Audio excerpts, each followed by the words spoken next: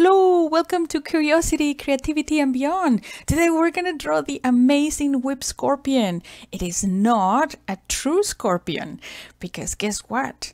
The main difference is the structure here. This whip-like structure is actually a tail and when it's attacked instead of injecting venom in his victims he just sprays them with this vinegar smelling liquid and that's why it's called a vinegaroon the first thing I notice is my goodness is big. Uh, actually, I have a ruler here and I very carefully I would like to measure. Wow, just the from the head until the end of the abdomen it's five centimeters um, long and it is one centimeter wide. I'll surely have to write that down. Look at the different types of legs. First and foremost, I've noticed these two at the front. They're the thickest and they're full of spikes and they look like this shiny armor. And yes, you're right, they end in pinchers. They are the ones that would allow him to dig burrows and carry all the prey. Then look at these long pair of legs. They look like antenna, but they're not. They're legs. And these very long antenna looking legs, those are just sensory organs. It allows him to to sense, hmm, where should I go? Where should I go? Where's food? Hmm. And then these other three legs on each side, they're more looking like the regular legs we're used to. They're so hairy and they just are for locomotion, for moving from one place to another. Look at how interesting the body, the actual middle part, is like divided in two. This front part here, it's almost as big as this. And this is called cephalothorax. We're gonna write all these things down, but I wanted to show you so we're going to use today a non-photo blue pencil or any actually blue would do and then a graphite pencil that I think might need a little bit of sharpening. I'm going to also use a sharpener and an eraser. So let's start, shall we? I think the most amazing thing that I want to focus first is uh, make sure that I have enough space for the pinchers and then enough space for the cephalothorax and then enough space for the abdomen. So I think I'm going to start by making an oval. I always like to start with ovals and circles. So I'm going to start, I'm going to turn the page a little bit so you can see it better. There we go. I'm going to start with making an oval that is going to be the cephalothorax, the head and the thorax fused together, this part here. This part here is flat and it joins with the abdomen, which is also another oval, but it's a little bit larger, a little bit longer. So I'm just going to make sure that I have these both ovals, which are very much the same width. So let's make sure that both ovals have the same width. There we go. And that's why I like using this non-photo blue pencil because then I get to actually make corrections and adjust. And it's almost like a magical pencil because at the end, no one is going to see it. At the very, very tip, this oval becomes a little bit thinner. There we go. And then at here at the beginning, this is our tiny, tiny head right there and it's fused to form this structure. We're going to add labels and we're going to add all these really cool names. But first I need to make sure that at least I have these. Um, let me move these up a little bit more. There we go.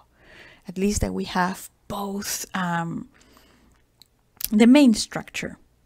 Um, the first thing I want to do once I have these two ovals is to start placing the legs because all the legs, no matter the type of leg, they're all attached to the thorax right here. So we have one big, big leg coming from here. And then we have the thin one coming from here. And at this point, I'm just going to put uh, placeholders. Then uh, we have one here.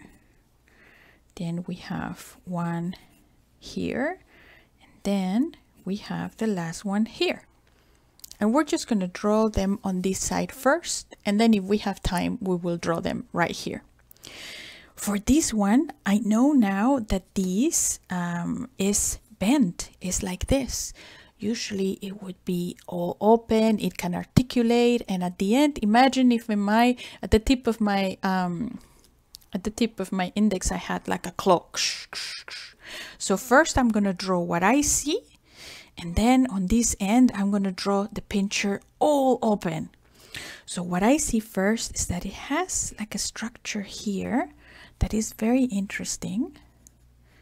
It's like a square. One, two, three. It's like a square. And from this square, there is another structure. It's like an armor, like total armor. From these, I have another structure here and I have a hole here so I need to make sure that I that I don't draw anything there and then that's all I see really something like this because it's very bent one thing I'm going to add when I go into graphite is that I notice here there's so many spikes so many spikes and a big big spike right there if I was to see these arm open, this is what I would see.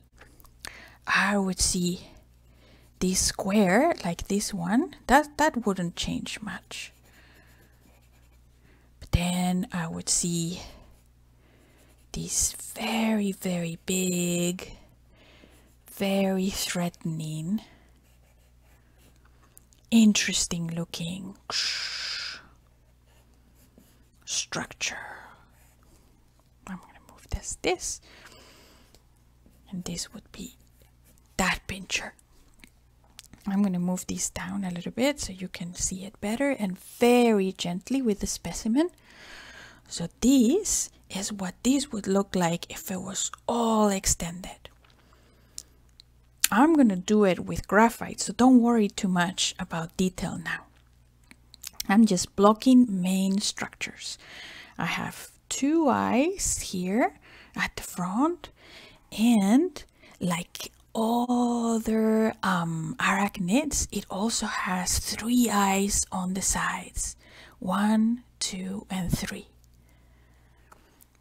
they're over there first i'm going to start with this one here that is open and this one i know because i researched i did a little bit of research before um, because I knew the specimen had the claws bent.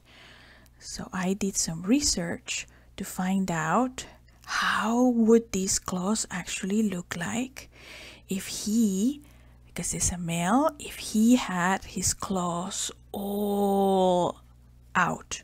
Because it's a specimen and that's how it's being preserved. So we need to be very, very careful. And we cannot um, yeah we cannot touch it so if this was a if this was a specimen in nature if this we were to see this amazing amazing creature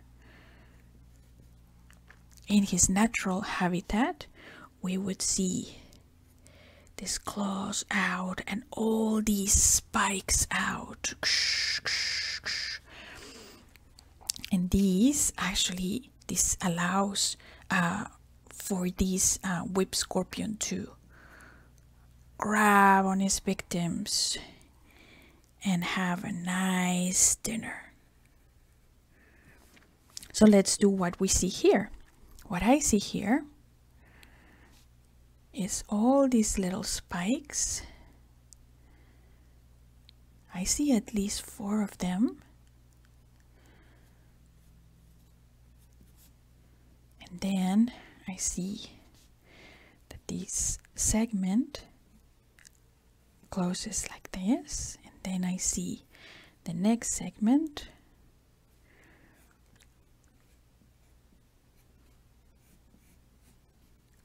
and I'm just drawing what I see. This is what I researched and this is what I am seeing now on the specimen.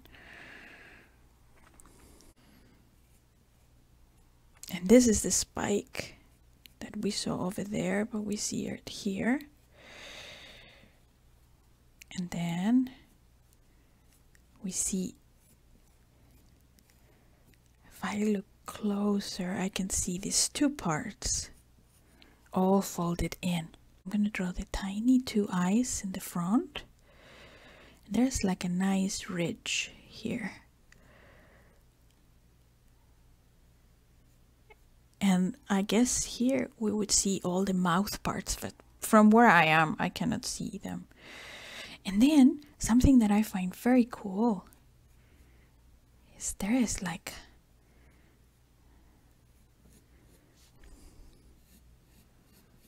like a ridge alongside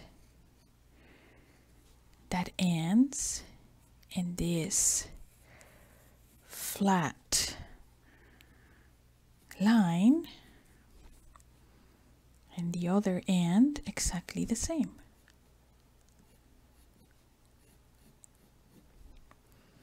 And I am sure also that maybe this specimen is a little bit dry, so maybe nature is less flat. That's something I would need to look in the book and see whether it's normal that it's so flat or whether it's something that has to do with uh, the preservation process. I didn't forget my cluster of um, lateral eyes. So we have two eyes on the front plus one, two, three, four, five, and six eyes on the side on the sides. And there's three on each side. This leg here goes far beyond the page, so I'm just gonna draw them a little bit bent. So I'm gonna draw the leg has one first segment and then it has another segment. And this is where I am going to in my drawing bend this leg in a little bit. So I get to include the whole thing on my page. I'm going to go with my graphite pencil and I see that there's a little bit of a thickened structure. And then it's much it's like a very straight through line. So I'll make two parallel lines there. Might be a little bit. Let's see it's a little bit curvy. There we go. And then at the end it thickens right there right at the joint and then we have another one and this is pretty much straight line although at the very end as well it thickens and it's the same approximately thickness as the previous one the one that we bent in our drawing, not in the specimen. It's also very long. And it thickens a little bit at the end, but it's very thin. It's very thin. It looks like an antenna.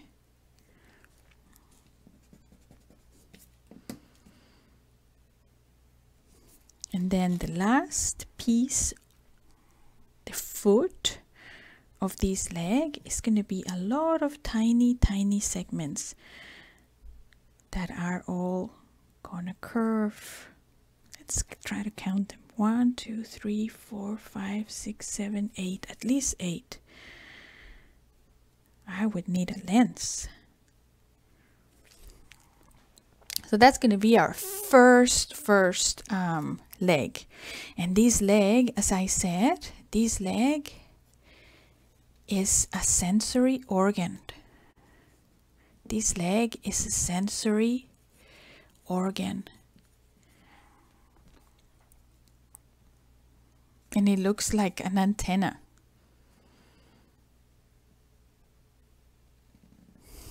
The second leg, let's go with our non-photo blue pencil, also comes out of a structure that is a little bit thicker. And then this segment is very short, very short, approximately until here. And it has a curve at the bottom. And then it thickens a little bit here. And then this also has a curve, but less prominent. Then it's articulated with this other piece. It's very short. It's very short and it has like this, almost like a triangle shape. Then it has another long one that also thickens a little bit at the end. And then the last the next piece is a little bit thinner and the last piece very thin. If I look closer, I see it has two tiny claws. So when I shift to my graphite pencil, I can add a little bit of the detail because I see that this piece comes from this piece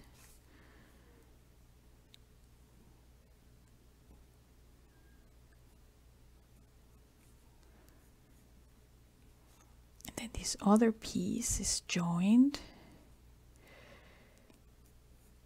and it's very hairy. Oh my. It's super hairy.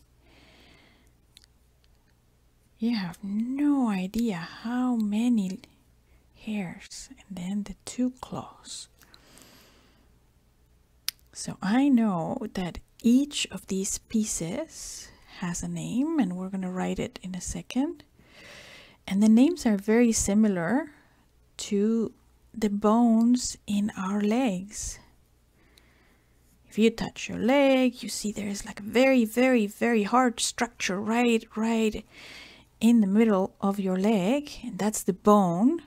So this first segment, this one here, is the femur. This one here. The next one is the patella this one here, the next, the long and thin one, is the tibia. After that, we have the tarsus.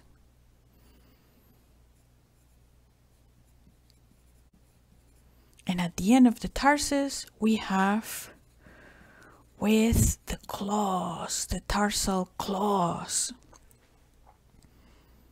Let's do another leg, shall we? It has the exact same uh, parts, but they're arranged differently. So the first, we're going to see, actually we see the head of the femur, the trochanter. I'm going to write that word here because it's very cool. Trochanter. That is the piece of the femur that is the thickest, right where it joins the, um, the thorax. That's the trochanter. So we can see that very well there. It's like a little hat. Then we see the rest of the femur. And it's, yeah, it's kind of curvy and nice. We see a little bit widened here. And then we see how this leg bends in an angle. Do you see that? So I can first make a line knowing where the leg is and then add the pieces around it. That's one way of doing it. I'm sure there must be another one. So then after the tibia, after the femur, we have the patella, and then the long one is the tibia. And then we're getting into the tarsals, uh, the tarsal bones, which which are just making the foot. So I'm going to change to my graphite. And in this case, I can see very well how the femur, it looks like the femur and the trochanter are different, but they're part of the same structure. They're fused.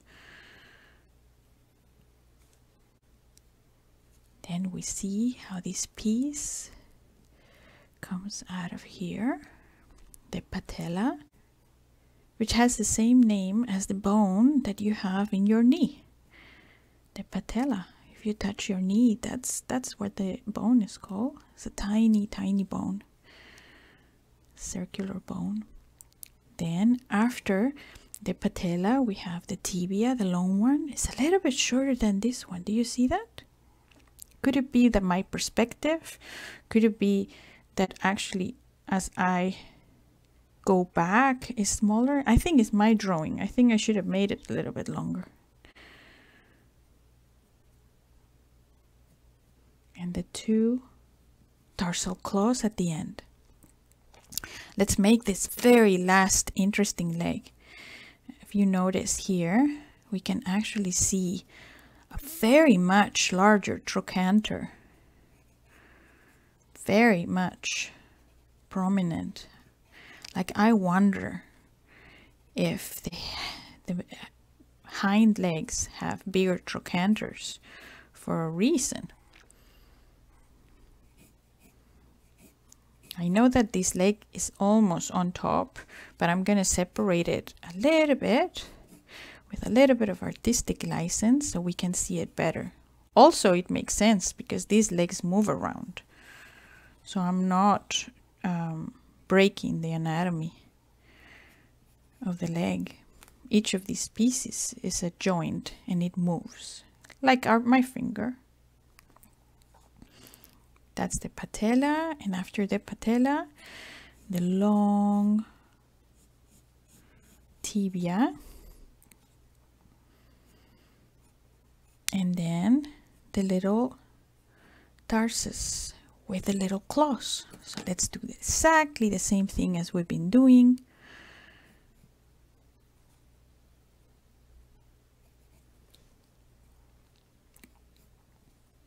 That's the tibia. And drawing insect legs, oh my, oh my, It's such a complicated and hard task. So thank you for your patience.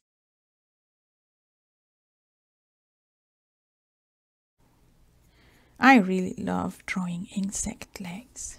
Yeah. And these are also very hairy.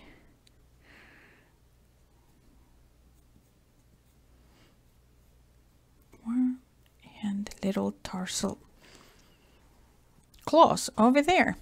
So there we go. These are, um, if I wanted to draw the other half, I could do the exact same thing on this side. But for the sake of moving forward, we're going to continue drawing other structures that are also very cool. For example, with my non-photo blue, I really want to draw all the segments of the abdomen. One, two, three, four, five, six, seven, and eight. And I noticed that the eighth one ends like this because there's a structure that looks like a cylinder that comes out of the end and we know what that is. That is this like whip-like structure. This is actually uh, a tail and as we said before wow, it has so much hair, so much hair. It produces, um, it's not a venom, it's like a liquid that is, um, it's like vinegar smelling liquid. Oh, I think you cannot see it. One second, I'm going to move it like that. Vinegar smelling liquid. So he sprays his victims with it. And they don't like the smell and they leave him alone. Would like to add the segments of the abdomen.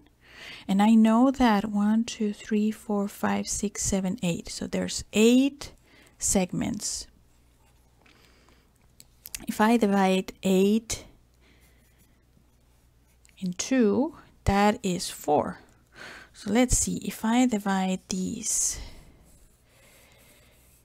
in two, I should have four on each. If I divide each of the four in two, I should have two. So let's see if that works out. If I divide these, I have two. If I divide these, I have two. And let's see what happens when I divide these in two. I have one, two, three, four, five, six, seven, and eight. That worked out great. So let's now change to the graphite and let's start drawing each segment. And I notice something right away is that each segment is born a little bit underneath the previous one.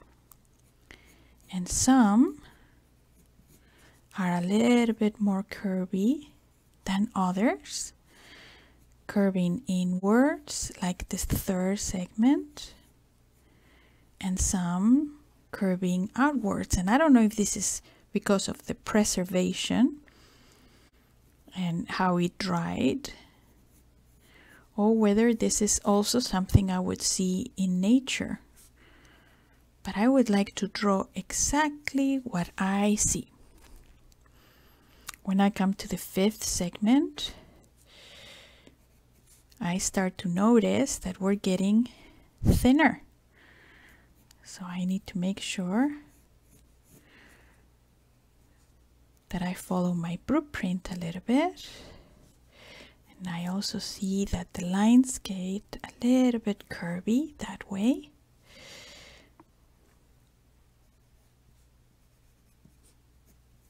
And the very last segment, it has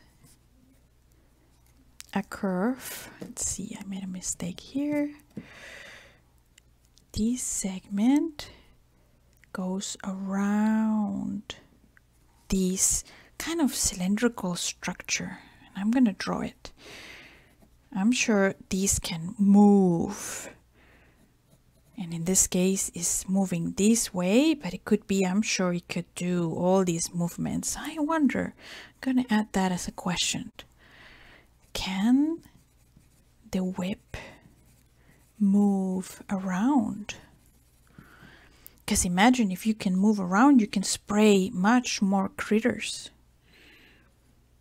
So I think that would make sense that that could be move around. To move this a little bit on the top so you can see it. And then to draw it, the whip, I'm just going to follow the blue line that I drew earlier. And it's very thin. It's almost like a hair, particularly at the end. It's a little bit thicker here. But as I go to the very end, it kind of becomes almost like a hair. And there's so much hair. There's so many hairs. Psh, psh, psh, oh my, yeah. They're thin, they're short. I cannot touch them because it's a specimen, so I don't want to touch it. It seems like a very, very delicate structure, and the hairs get much thinner as we go till the very, very tip of this whip structure. So we did our segments, but as we were doing the segments, I noticed that there's like two dots on each side of the abdomen. So I want to make sure that I draw them. I see them here, one and two. I also see them here I also see them here and they have very interesting color. They're like grayish blue And again, I don't know if this is because of the specimen, how it dried, but I no longer see them here and the first and then the last segment. So I'm going to start with a little brown and any color really will do. But what I want to do is I really want to start adding just a little bit of brown. And I'm sure you see all this texture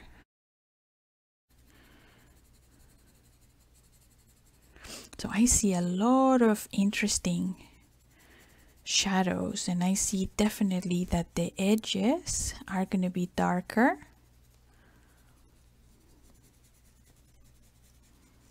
I'm to put the thing here so wait I'm to start very light brown and with the same color the edges I'm to darken them a little bit just by adding a little bit of pressure also here, where the abdomen meets the cephalothorax. That's a good word that I wanted to write down here. So I'm to write here cephalothorax, which means that the head and the thorax are fused. And this, so this is the cephalothorax, and this is the abdomen. And it has segments. So that's why it's called segmented the different legs that we saw this one here these legs at the front those oh my those were the pedipalps and these are the ones that end in a pincer. And this moves and allows the animal to capture all the critters that he wants to eat and also to dig burrows so it's for eating and for eating for carrying catching prey so i wanted to add those notes because they were very interesting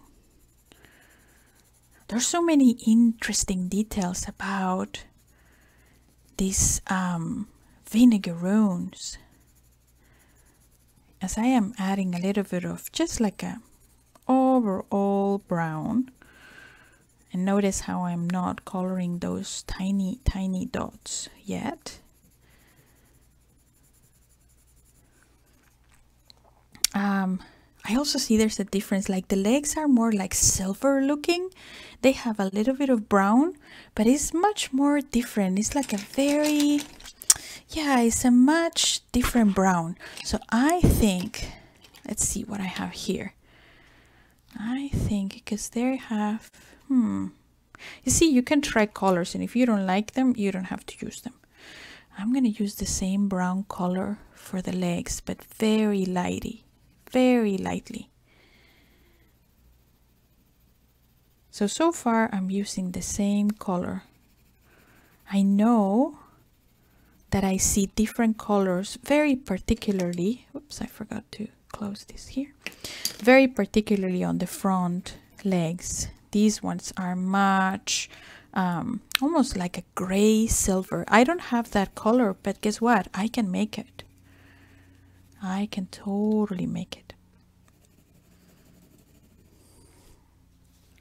But first I want to add an overall tone. I'm going to put this here so you can see it well. Yeah, I'm going to add an overall very, very light brown because I think my overall color is going to be bluish very light bluish. I realize I forgot to close some some of these structures so let me yeah let me actually close this structure here and here and always that's something that is very consistent throughout there's some areas that are going to be lighter and areas that are going to be darker and it depends really on where the light comes from. It really depends.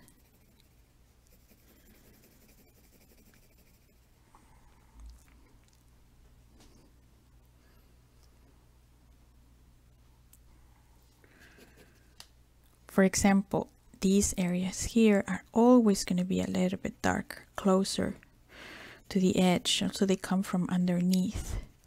So I can go now and do a little bit of dark, darker brown. It's the same color, the exact same color.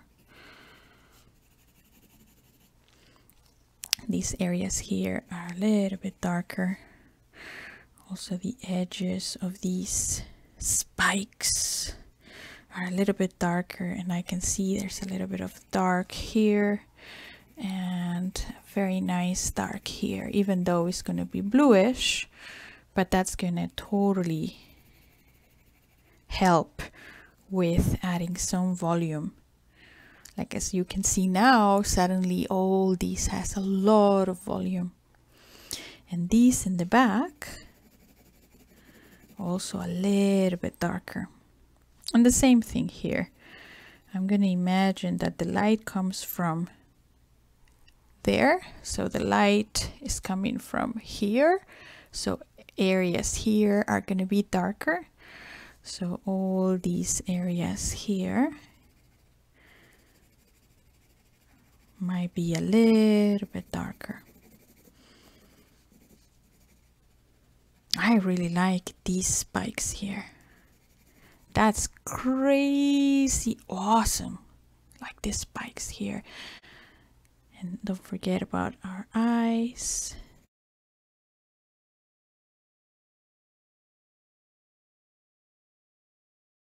Because guess what? Compound eye means that it's made out of many, many, many, many eyes. So let me write that here. Compound eye. And as we said, it has two in the front and three on each side.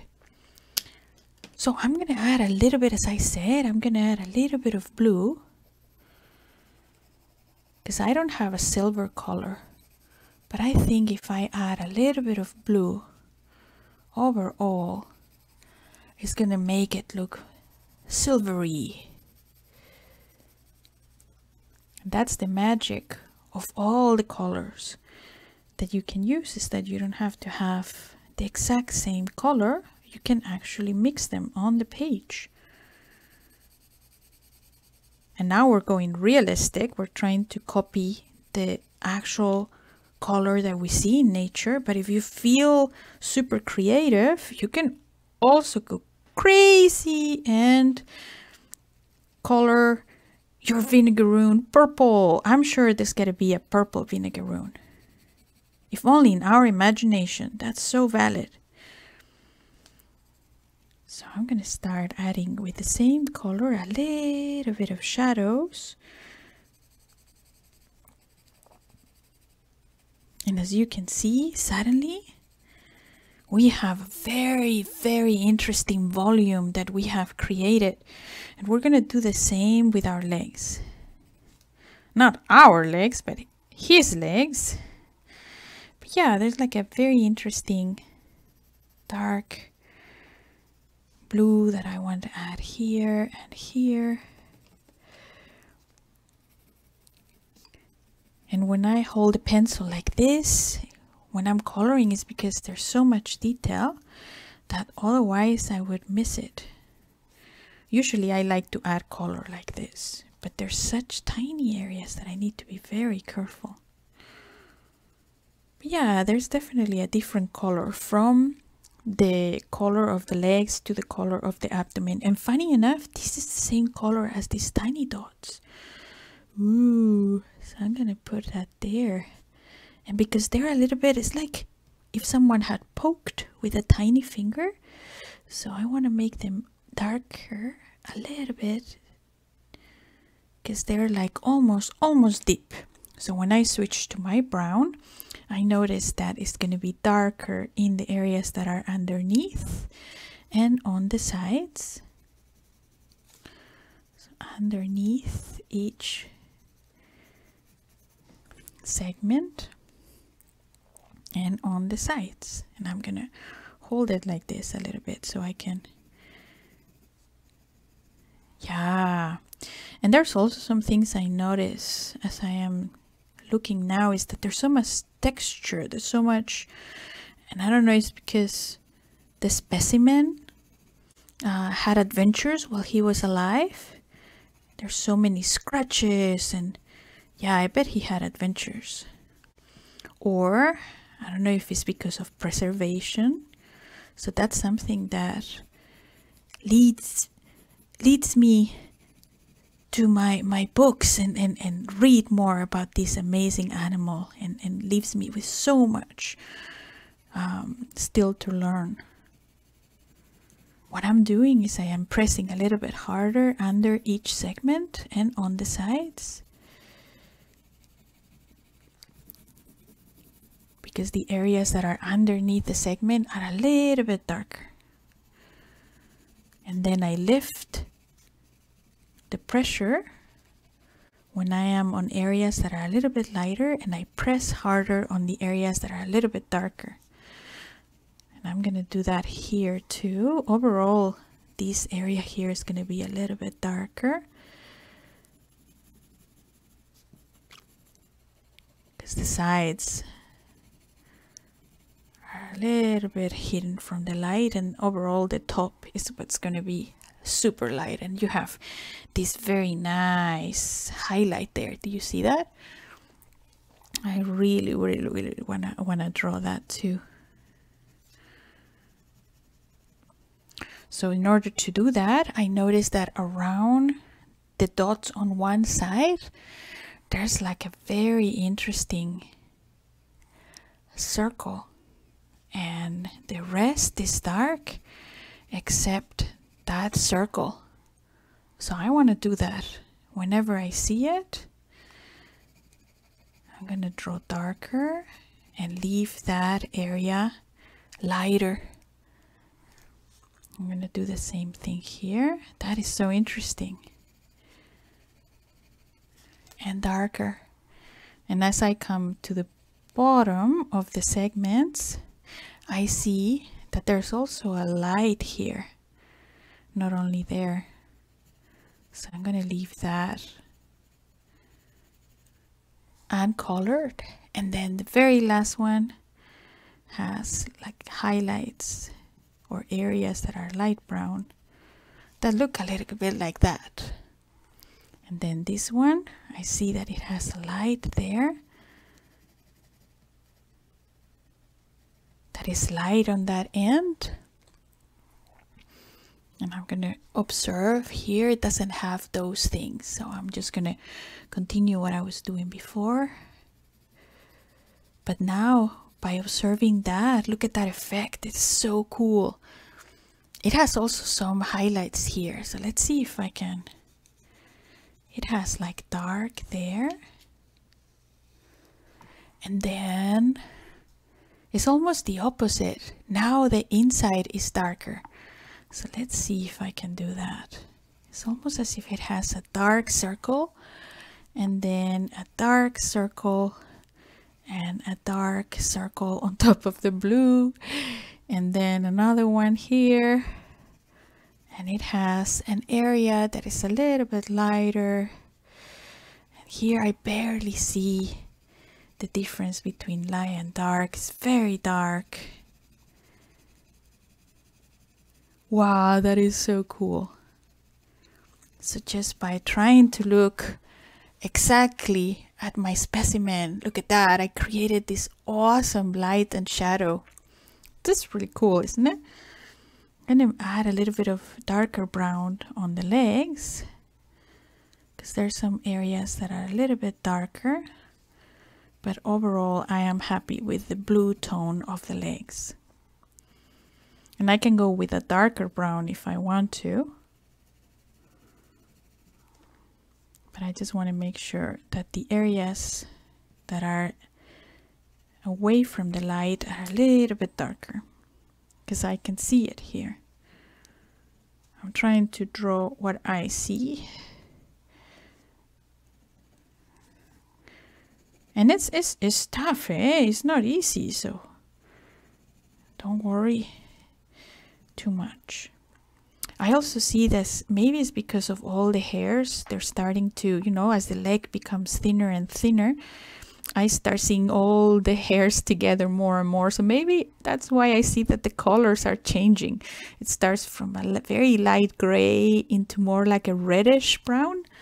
So I don't know. I wonder if it's because of the all the hairy bits and pieces. And as the leg thins out, I see less of the um, of the blue of this grayish uh, um, tone. But there, I really want to draw all those legs, and I think I have a color that might work well. It's kind of a reddish. I'm gonna make sure I sharpen it, so I make very sharpen, very sharpen, sharpened. Ah, there's so many, lit. so many, so many, so many tiny and they're all facing this way. I don't see any hair like that. I think they're all facing that way. Would be interesting to ask him if he has to brush his hairs every day or use conditioner. Oh, let me see before I, I add hairs into the antenna. Yeah, there's some, but they're very thin. So they're definitely less visible. So I need to observe better before I start adding hairs. Let's see. There's hairs here, here. Oh yes, there's a lot of hair here.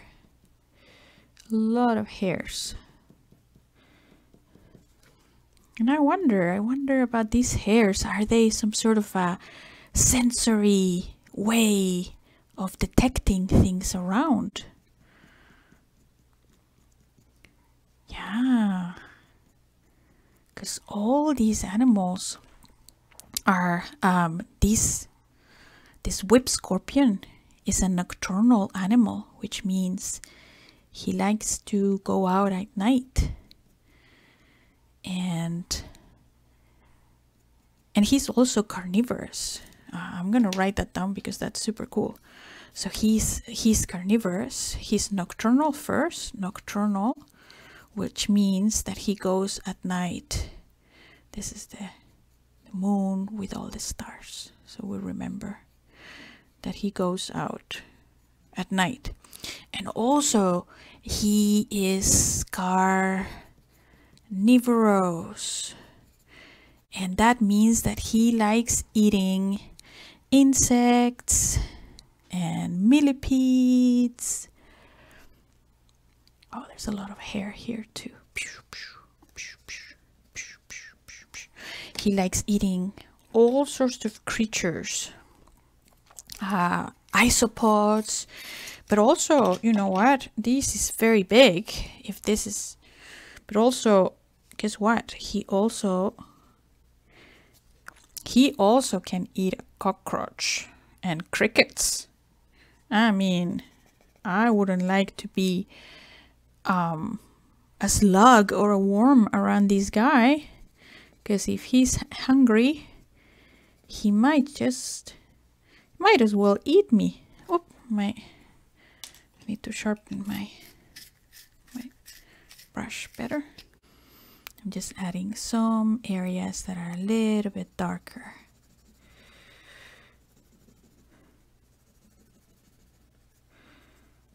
Yeah, some areas that are a little bit darker.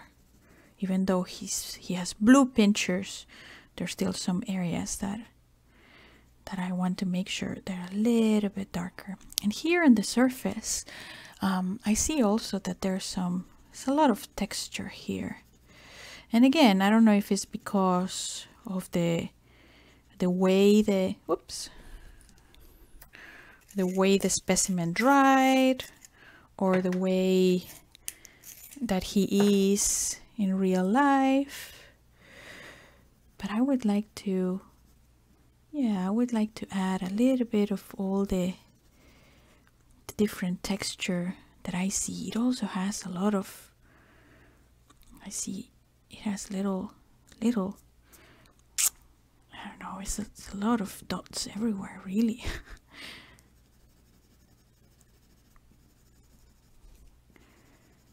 a little bit of dark areas. It's definitely the top part here is lighter.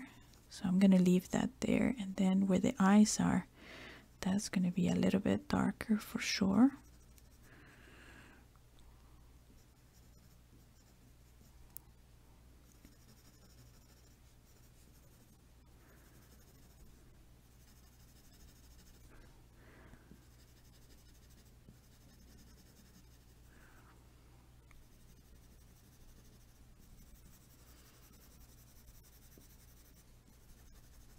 and by adding all these lines I'm adding so much texture and I also I don't know I see also like it has interesting colors. I think I'm gonna add a little bit of red around here because I see it has a little bit of red.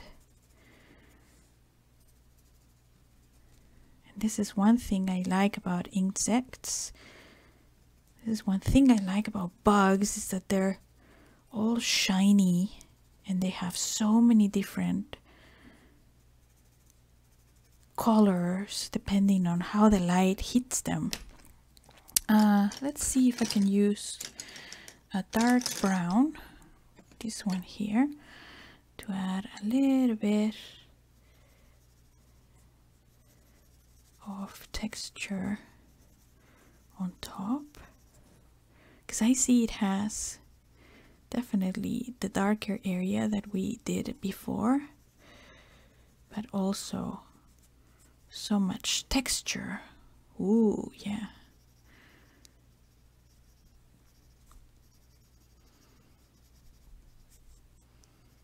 And this area that we left uncolored is working so well to create that depth and if you have lost your lines, you can go back with your graphite, for example, here. And I might as well go around, for example, here. I lost a little bit of my femur and a little bit of my trochanter. Yeah, so you make sure that you don't lose those. And just as a final, final touch, I think I'm going to use a little bit of black just to make sure that some areas are super dark. Like for example, areas that are closer to the body.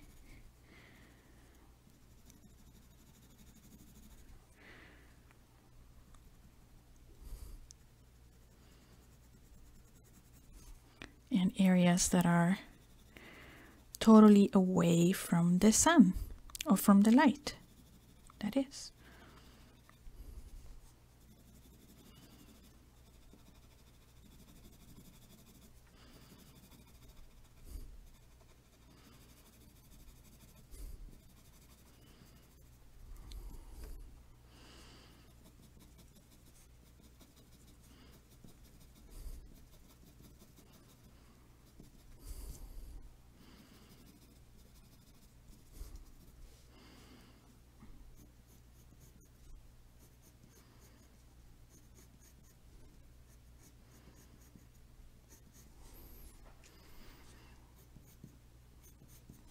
So I'm just going to have some fun with my title and I hope you too because I really would like to color my title with the same colors that I use on the drawing. So this is a whip scorpion and it's not a real true scorpion.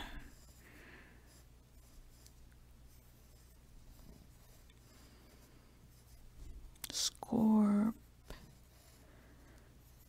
P on.